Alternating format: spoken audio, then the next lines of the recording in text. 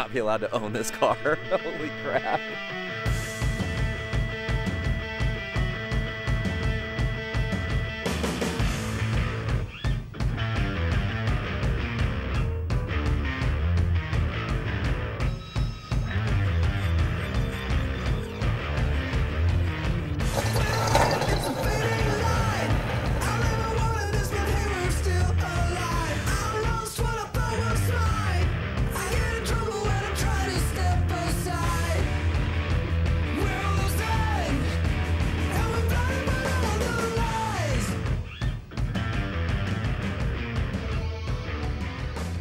What's up, Lite Brite Nation? What's going on, my radiation? Oh, Jesus, she's going crazy. so we are we are at our deadline, as in like our deadline has passed at this point. Like we should have been done so much sooner than this. But since we have essentially reached that deadline, Hey, we, come here. hey, Come here. Come yeah, here.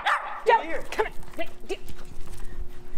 She's all since, rambunctious right since now. we've essentially reached that deadline, today is Sunday, and we are lucky enough that Josh over at CBM Motorsports is willing to come in on his day off to help us get the Ultra 4 car tuned because we we have to be on the, the, the lake bed in like a day.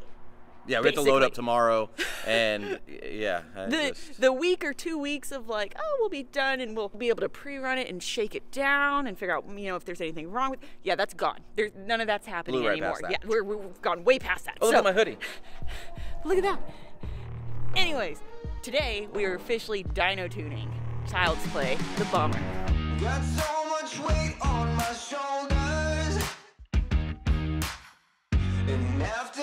much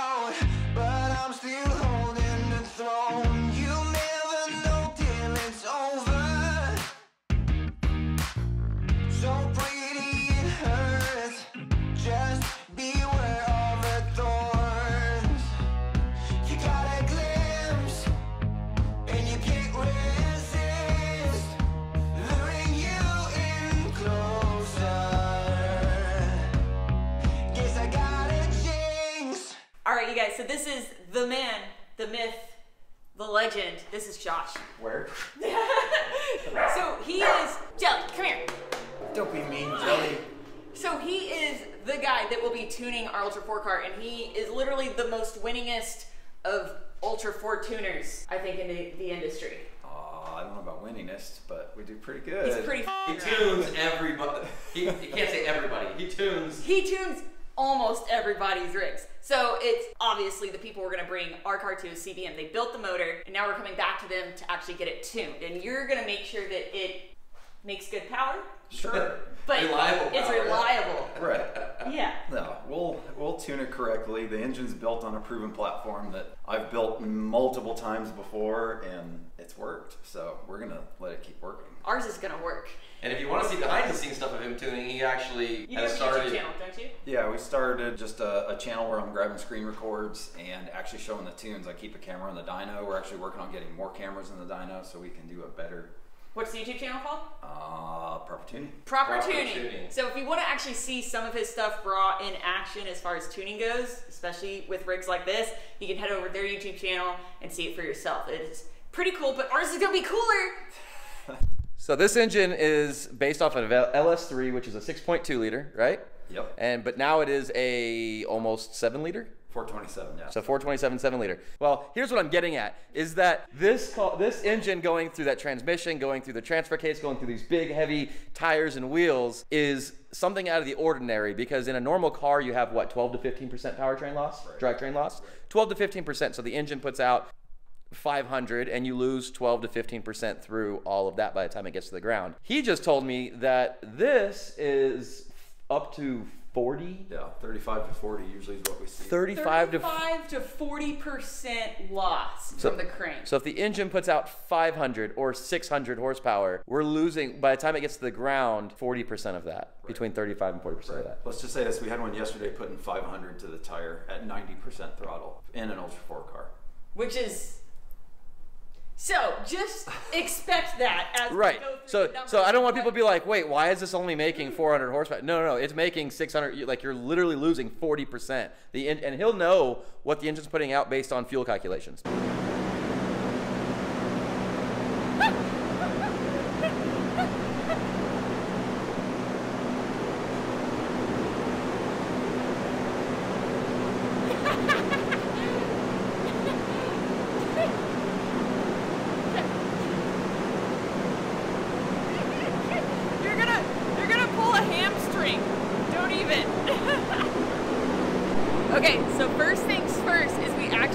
started up, get everything warmed up at running temperature, stuff like that, and then we need to go and check all the fluids, make sure everything is where it needs to be. And once we're sure that everything is where it needs to be, then we can actually go back in and start the dyno. Thank Hector. Yeah, thank Hector for coming in. I can't hear you. Gotta thank Hector for coming in and helping today too. Oh yeah. Thank you for coming in on your day off, Hector. And don't if you're worried about Shelly, we actually went ahead and put her up for this part of the video because unfortunately they don't make doggy ear protection like they do for us. So we want to make sure her ears are protected during this.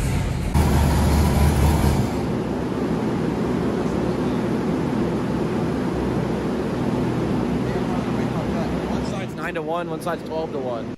We're gonna drill some. Nothing like drilling on a brand new engine.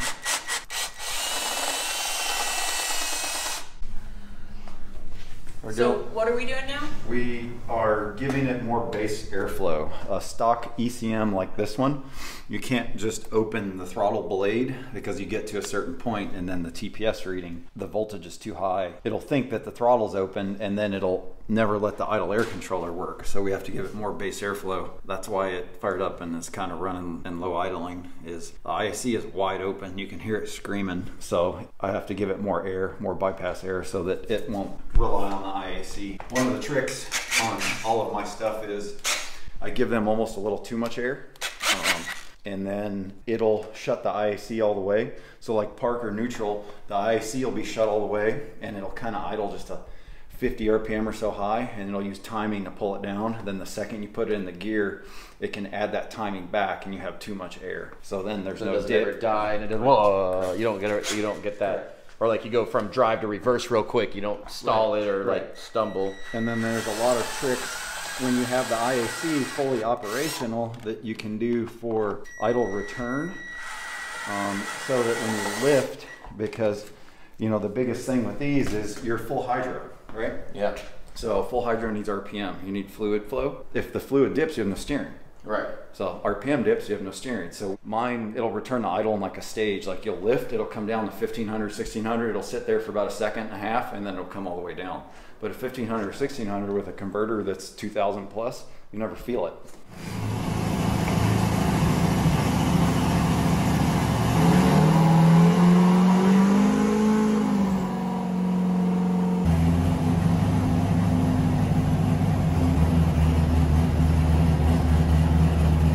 And don't worry if you're wondering what it is that's actually smoking up from the engine bay area. It's actually just that heat wrap that we put on the headers. That's brand new, so it will smoke for a while until that stuff gets completely dry and solid. So up until then, you might see a little bit of smoke. but Don't worry, it's not coming from the actual engine itself.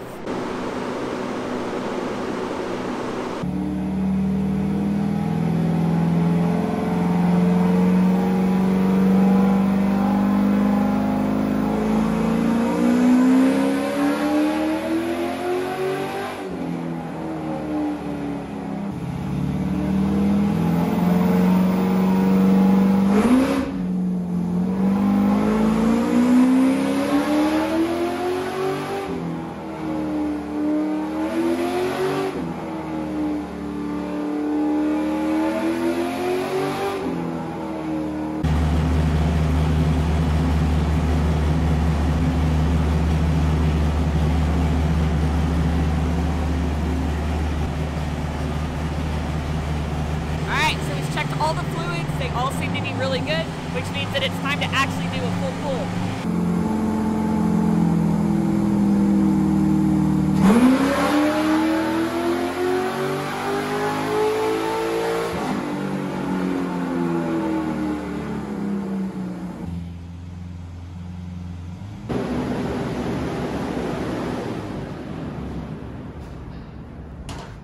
First power pull, so it's a little fat still, but it's right almost at 400 of the tire.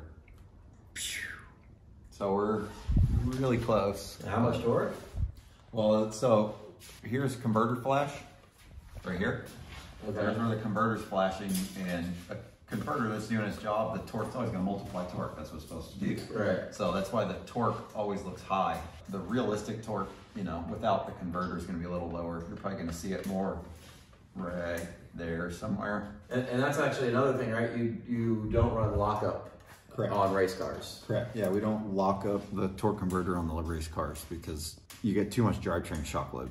So that's another reason we don't run gear drives for time and set or any of that. You want something that has some kind of forgiveness. And is everything ha- reacting properly? Everything feels everything good. Every- great. It I just- sounds fantastic. I need to just keep cleaning up the fuel some. You know, the, the tune was close of the get go just because we I tuned this engine. Because you're the one who gave us the base tune. yeah, exactly.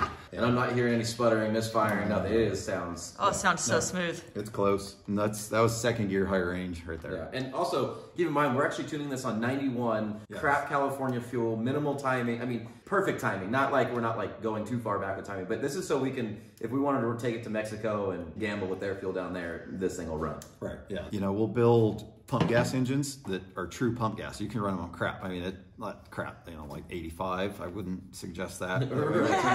Yeah, I would try and get at least 91, but you know, we're beating on this thing in 91, and that was the whole design of this engine. The first time we did this engine, man, on 91, it made like 650 horse, and I was hoping for six and a quarter. So So we're not running this on E85. We're not running this on race gas on 110, 100. I want to put 100 low lead aviation fuel in it just because it smells good. But uh, but other than that, it doesn't need other it. benefits. you Well, yeah, not yeah. It's not an octane benefit; it's a vapor lock benefit. You know, because From the heat, from the well, your boiling point lowers as you go up. Pressure goes down. You know, so you go up in altitude, pressure goes down. Boiling point goes lower as well. But Right. so same thing in here is we want a high boiling point with fuel because everything gets soaked. I mean, heat soaked. Yeah, everything is So hot. that's the one cool thing about avgas 100 low lead is the, boiling boiling point. point is super high. Right. So your vapor lock chance is way lower than 91. And that's what we've been running in it usually is we usually run a Yeah. mixture of avgas and regular fuel. Whatever. Yeah. So we don't have to get it, but like if I want to take this on trails, go take people for ride-alongs out, you know, whatever. I don't have to. I can just stop at the pump and fill up with 91 or 93 and Right. and roll. Yep. So that's awesome. No, it sounds It sounds so it good. sounds so good. All right, cool. Yeah, let me, um, I'll keep cleaning up on the fuel, but it's getting close.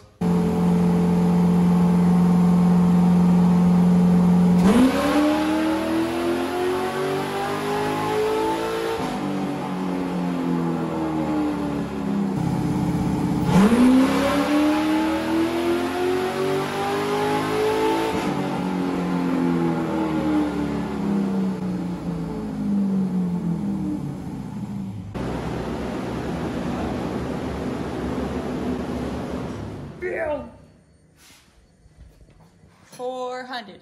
Yep. Through the nittos. Through the. Hold on. What do you say? I said I'm gonna do a pull, Okay. first, second, third, starting in first. Just like if you guys were on a straight stretch. Yeah. So I'm gonna do that next.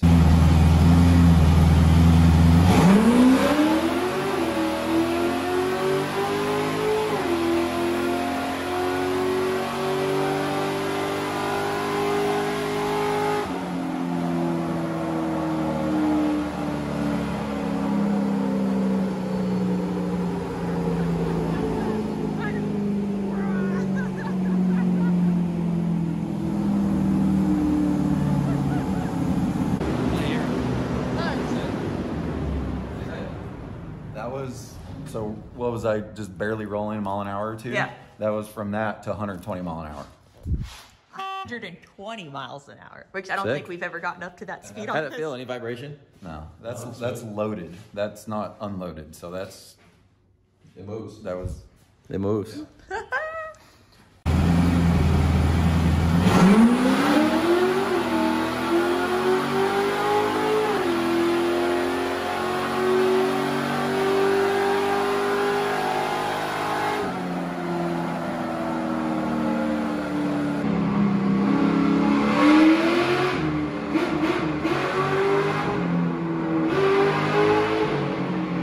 So he's just beating on it for a minute just to make sure. That sounds it's It sounds insane. I'm never gonna sell it. It sounds like that. Holy that sounds good.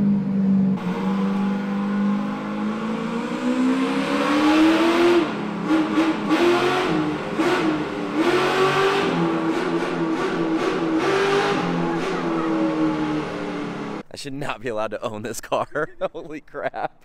Oh man.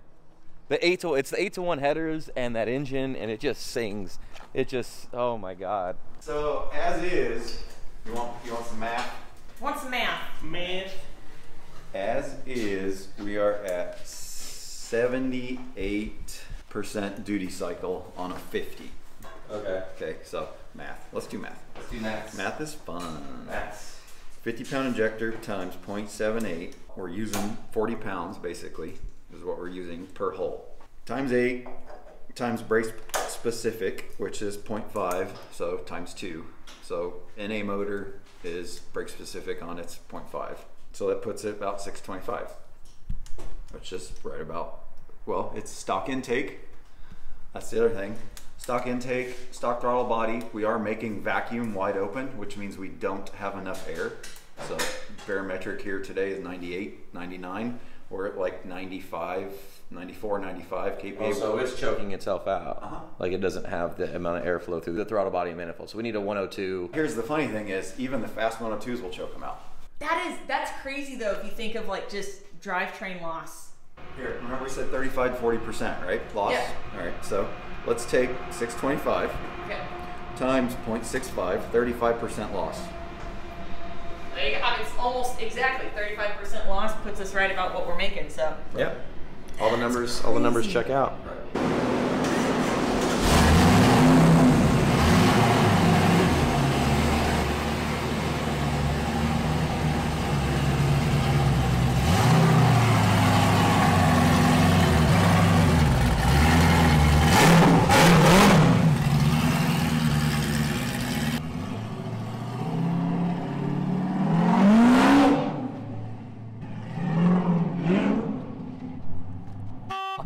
I can't, I can't believe that. I, I can't believe that's That we mine. have That- that's ours. I mean.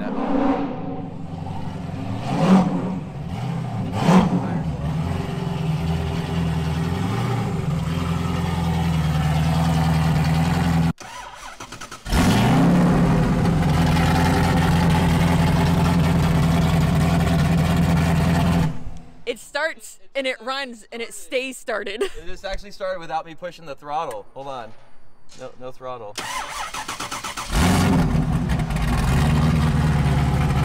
It's never done that before.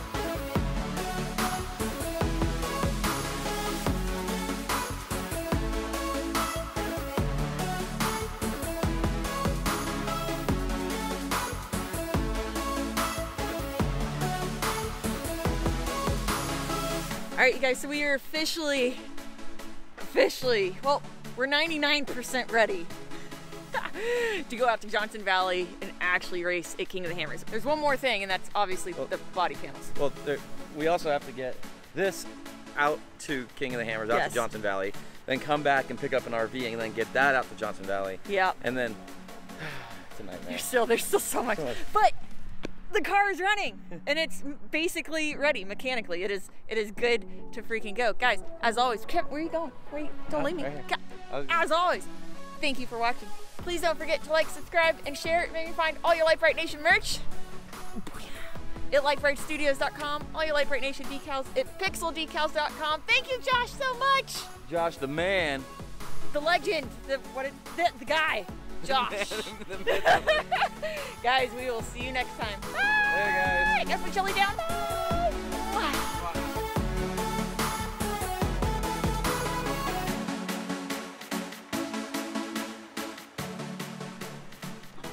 She's bored. Look at her. She's been pent up with. I don't know what. She's like, Mom, you locked me in the truck while you guys were tuning. Oh, now you go after the other. What happens if you get the other one? Then what? Are we done? and she wins. That's it.